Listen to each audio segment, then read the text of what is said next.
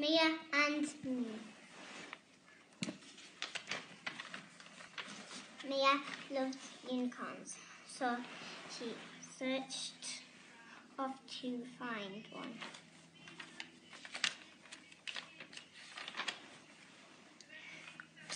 But all she found was a box.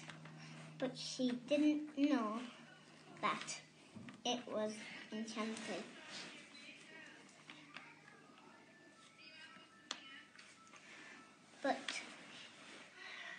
She found Okay. a key in the box and and it opened and there was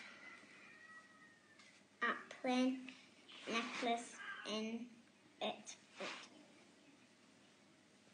If it fell into the wrong hands, so she wore it and she had to go to school, but